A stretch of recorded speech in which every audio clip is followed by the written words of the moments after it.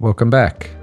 Today we're making something wicked magical, healthy, and delicious using cauliflower. We'll start by making a gut healthy and warming drink. And before we get into that, I just want to share that we've launched these amazing frozen pizzas into Kroger stores. Now, we want you to cook. I want you to get into the kitchen and cook. Take control. But when you don't have time or you just don't want to cook, we have these amazing, wicked solutions all ready for you to go. It's back to the show. So, this recipe is comprised of three ingredients, as I mentioned cauliflower, ginger, and miso for the broth. First, we're going to break down the cauliflower by trimming the leaves and breaking it down from the core, from inside out.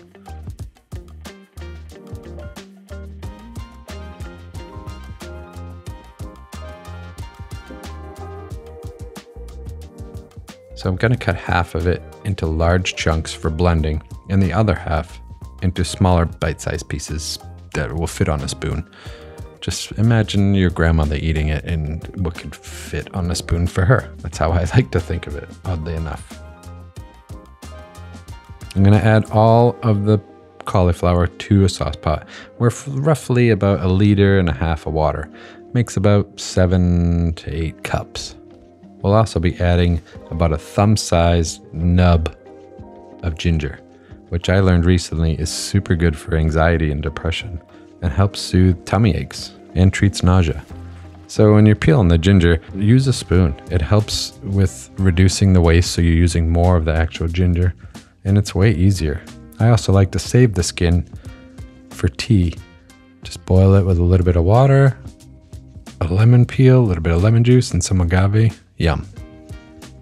Once you have all the things in the pot of water, bring the cauliflower and ginger to a boil for about five minutes or so until the cauliflower is fork tender. A good way to tell if it's done is if you can pass a skewer through it and it still holds its shape. Then it's done. You're going to want to remove the larger pieces and place into a strainer before straining the rest of it. This is just a safety thing for me. I don't want big splashes. So make sure to save the liquid too and drain it into a different bowl. It's added flavor and nutrition that we'll be adding into the recipe later. I definitely don't want to be wasting it. Then we're going to be placing the cooked cauliflower and ginger into the blender with a healthy portion of the fresh miso. This is going to make our super umami, creamy, gut friendly, soothing broth. Then add the hot brothy water to the blender to cover and carefully blend until it's silky smooth. Once that's done, pour it into cups or soup bowls and enjoy. I make this pretty often and save some in the fridge for later. Warm it up when I want a healthy cup of comforting something to sip on. It's delicious and I know it's good for me. It'll last a couple days in the fridge. You might just want to stir it or shake it up well when you reheat it. And don't boil it. If you want the miso to still work, it's magic. Don't boil it. Warm is good. Warm is good. And there you have it. A super magical, creamy, thick, delicious, healthy, and warming, sippable, brothy soup that's super good for your gut and mind health. So now we're just going to jump right into making the chowder from the same broth that we just made. I'm going to dice an onion quick, add it to a pot, and then I'll add a little bit of butter. So probably two tablespoons worth of butter. Here's where the no oil option is. You don't have to add this butter. You could just add a little bit of the broth to steam saute it instead. I have a couple large red potatoes here. I'm just going to cube these to be spoon size. Take a second, take your time, practice some knife skills. I like everything to be uniform if possible. I know it's kind of tough with the potato, but I do the best I can. Then we're gonna dice up some garlic quick, just a couple cloves, two or three, it's up to you. And add those right to the onions, just saute those or sweat them out. And then I'll add the potatoes and the broth right to the onion saute and, and bring that, start to bring that to a boil. Here's the difference between like a normal chowder where you'd make a roux first and flour and butter and heavy cream. We're just not gonna, we're skipping that whole step. We're using the broth, the creamy cauliflower as the broth. Then I'm gonna zest one lemon and save the juice and add that to the dish in a minute.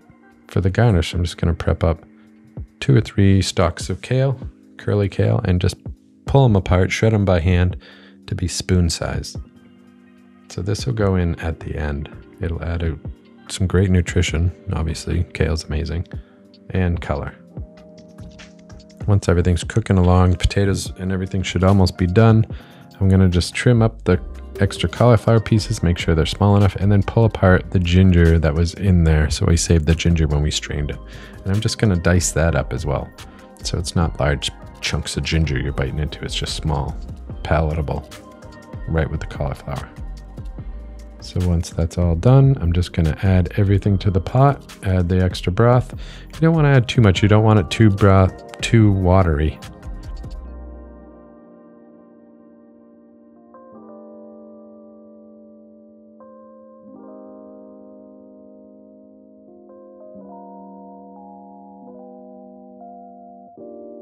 and then just bring it up to a simmer. I'm only to simmer it for a few minutes because that broth is already hot. And for a garnish, I'm going to use tofu, a whole block of tofu. I'm going to dice it into the same uniform cubes. And then for each bowl, I'll be able to add equal amounts of tofu on top. And it'll be nice. It, I don't even have to heat this up. I can just add it to the hot soup. So it's actually just super comforting and I can eat a lot of it. It's not going to be super, super hot, scalding hot. It's not going to burn my mouth. So I like to add, season it with a little bit more pepper. You can add chili peppers. I definitely wouldn't be adding any more salt. If you want, add a little bit more miso. Just mix that in there if you need it a little extra salty or something, because we just want this all super healthy and gut friendly. It's just super delicious that way. Just gonna portion it up into the bowl, like a nice big bowl of this for dinner. It's great. A little bit of tofu on top. Man, I'm actually watching this like a few days, a few weeks after, and I could really go for this. My mouth's starting to water. Anyway, season it like you like. A little bit of ground pepper. Yeah, super delicious and comforting. I'm just gonna have Ira come over for a second opinion, see if he likes it. Ah, big fan. That's good. I don't have to redo it. Anyways, you guys, thank you for joining. Thank you for watching. Thank you for supporting. Smash that like button, subscribe. It all helps and it helps motivate me to do more of these videos for you guys. I appreciate you. Thanks for watching. See you next time.